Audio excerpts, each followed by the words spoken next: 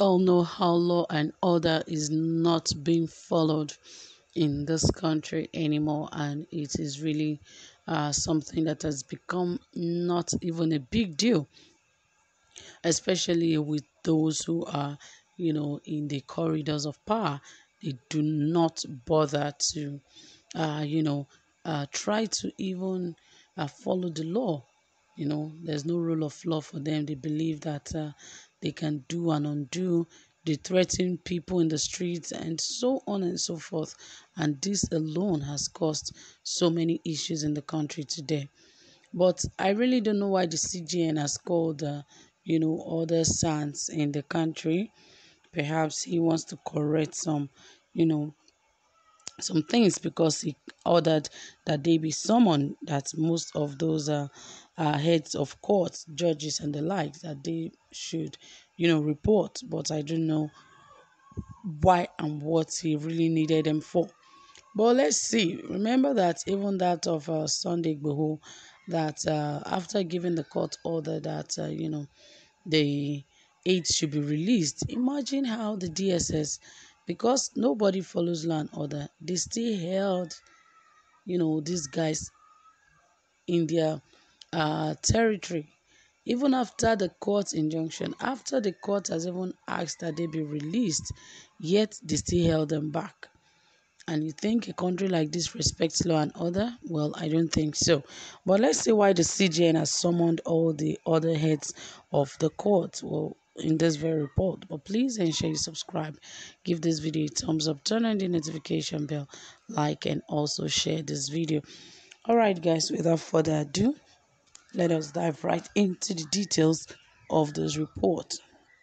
Here's the Chief Justice of Nigeria, CJN, Chairman of the National Judicial Council, Justice Tanko Muhammad, has summoned the Chief Judges this is part of efforts to stem the recent wave of embarrassing and conflicting ex parte orders emanating from judges in their jurisdictions. In a letter of invitation dated 30th of August 2021, and cited by a judiciary correspondent, the CJN summoned the head of the concerned courts to the emergency meeting to brief him on the incessant granting of the conflicting orders on suits instituted by different political parties before the various courts.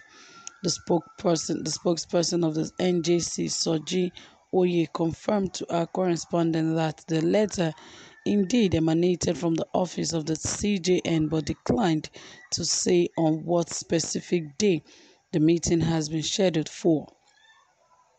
He, however, said that the meeting will hold sometime this week.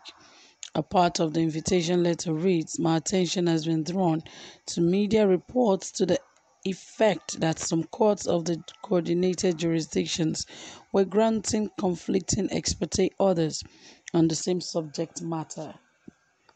It has become expedient for me to invite you for a detailed briefing on the development. This is even more compelling having regard to an earlier NJC warning to judicial officers on the need to be circumspect in granting ex parte applications. It was also revealed during the channel's television uh, interview that the meeting between, uh, sorry, uh, during the channel's television uh, gathering, that's the meeting between the CJN and the head of courts concerned is a prelude to a larger. It was also gathered that the meeting between the CJN and the heads of the courts concerned is a prelude to a larger NJC meeting likely to hold next week. The leadership of the judiciary is said to have embarrassed at the recent developments and the meeting is part of the measures to stem the tide and to be seized of the fact before the larger council deliberation. Yeah, you know, uh, the CJN, well, he, he, has done a good thing because uh, what he's trying to say is that uh, there's been a lot of conflicting, you know, a lot of conflicting uh, uh, um, reports from various judges. When one is given a go ahead, you go to another court, another person is telling you no, that case cannot be, you know, uh, uh, uh, closed or that case cannot be continued. You know, different report from different angles. You know, that is the same thing that even happened in the People's Democratic Party, where they actually made the uh, party chairman, you know, they unseat him and expected that he would go. But you know, some people in another state had to go ahead to fight that cause. And at the end of the day, he was returned to office. And that is exactly the same thing we're saying now. The the issue of this thing is so conflicting that you know a lot of a lot of issues, a lot of things are just you know happening in the country today.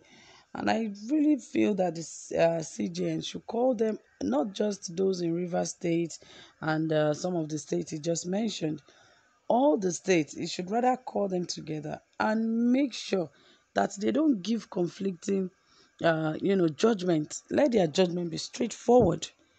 If this is it, let it be it. Not because the truth is, if you are in an appeal court and you feel okay, I'm not satisfied with it with this, or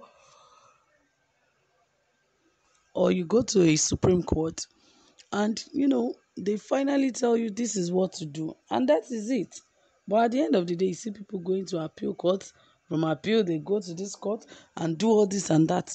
But it's really really not important that they do all that. They i believe once the uh, highest body of the courts have given their verdict i believe that should be it. And they should forget about any other thing not going from one court to another and ensuring that uh, they win the case or to ensure that their opponent loses the case and so on and so forth. But all the same, I just hope that Nigeria will become a better place for everyone to live in because indeed Nigeria has been very, very frustrating for a lot of Nigerians.